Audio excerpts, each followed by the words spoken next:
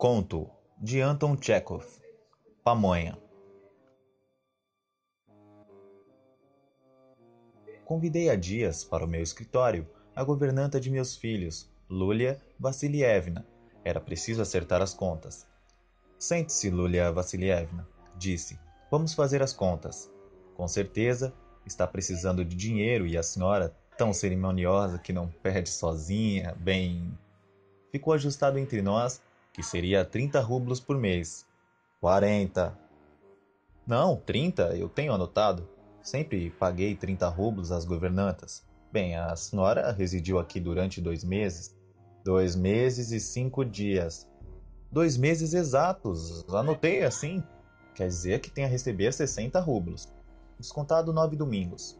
A senhora realmente não deu aula ao Kolya nos domingos, mas apenas passeou com ele, e mais três feriados. Lulia Vassilievna ficou vermelha e pôs-se a puxar uma franja do vestido, mas não disse palavra. Três feriados. Quer dizer que temos a descontar 12 rublos. Colia esteve doente quatro dias e por isso não estudou. A senhora então deu aula apenas a Vária durante três dias. Durante três dias a senhora teve dor de dente e a minha mulher dispensou-a das aulas da tarde 12 e 7 são 19.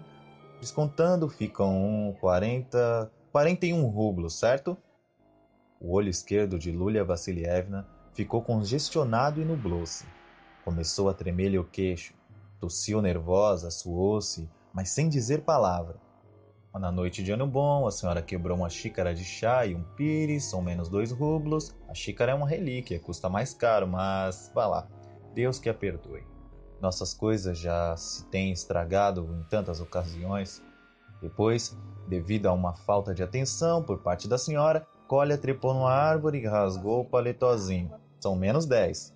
A arrumadeira, em consequência igualmente de uma distração sua, roubou os sapatos de Vária. A senhora deve cuidar de tudo. Está contratada e recebe ordenado, quer dizer que devemos tirar mais cinco. No dia 10 de janeiro, a senhora levou emprestados de mim dez rublos. Eu não levei, murmurou Lulia Vassilievna. Mas está anotado aqui. Está bem, seja. De quarenta e um tira-se vinte e sete, sobram quatorze. Os olhos da governanta encheram-se de lágrimas. O suor apareceu sobre seu narizinho comprido e gracioso. Pobre menina. Eu só levei uma vez, disse ela, a voz trêmula. Levei três rublos de sua senhora. Não levei mais nada? E agora? Imagine, eu nem anotei isso. Tirando 3 de 14, fica 11. Aqui está o seu dinheiro, minha cara. 3, 3, 3, 1 e 1. Queira receber. Dele os 11 rublos. Ela os tomou e enfiou-os no bolso com dedos trêmulos. Merci, murmurou. Levantei-me de um salto e pus-me a andar pelo quarto. O furor apossou-se de mim.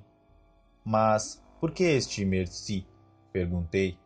Pelo dinheiro. Mas eu a assaltei, diabos. Eu lhe roubei o dinheiro. Por que merci? Noutras casas, cheguei a não receber nada. Não recebeu nada? Compreende-se.